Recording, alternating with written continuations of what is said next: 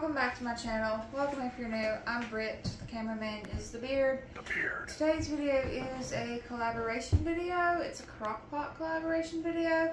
And if you know me and if you follow my channel for some time, you will know that I love my crockpot. I cook everything in it.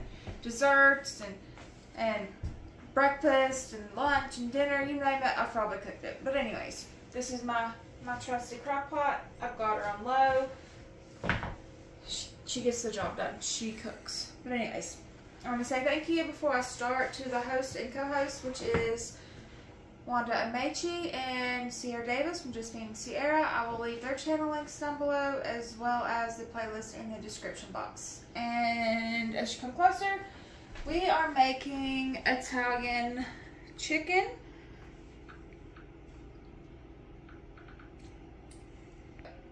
So you need a crock pot, put your crock pot on low.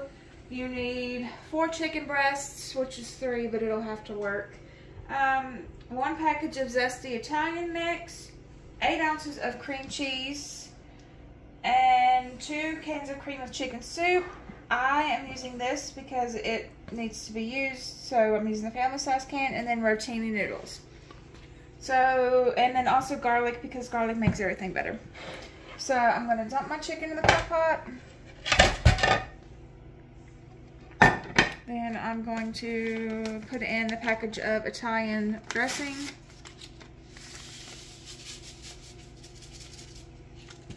My whole can of cream of chicken soup.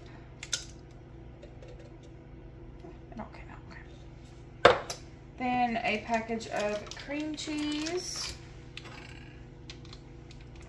I had two spoons in case I needed to pull the stuff out for the um, the cream of chicken soup, but I didn't have to, so there's that. And then I'm going to put some garlic in there because garlic makes everything better. And this is one of the simplest crock pot meals you can make because it's like all in one pot and done. Garlic doesn't make ice cream better. Okay, almost everything. And you can mix it if you want. I'm actually going to add a little bit of water into this can of cream chicken soup.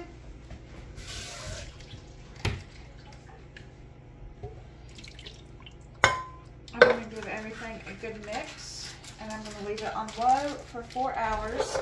And then when your stuff is done or almost done, go ahead and I'm just mixing, kind of mixing everything around the best I can. When everything is done, you cook your noodles and add them in and then let them kind of mix everything together and then you're good to eat. That did not mix very well, but that is okay.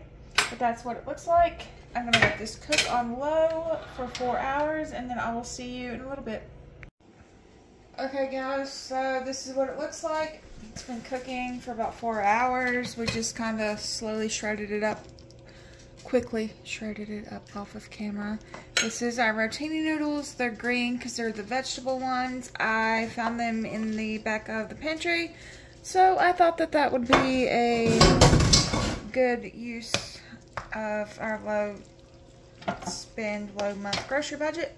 Using everything you have, right? Not letting it go to waste. So, digging in the back of the pantry is always fun. You never know what you're going to find. But then you just mix it all together. Don't this look good? I mean...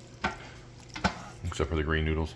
I, yeah, if we had regular white noodles, I would use those because it kind of looks like pea mush, but that's okay. Anyways, but this is what it looks like. I'm, and I'm just going to show you what it would look like on a plate.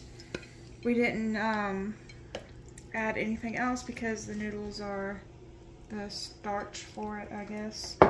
This is what it looks like on the plate. I hope that y'all enjoyed this super easy crock pot meal. If you make it, leave me a comment down below. Let me know that you made it and let me know if you liked it. This is our first time trying this recipe, so we'll see how it goes. But in fairness, my kids are human garbage cans. They will eat anything that I put in front of them. They do not care. So there's that. I do not have picky eaters.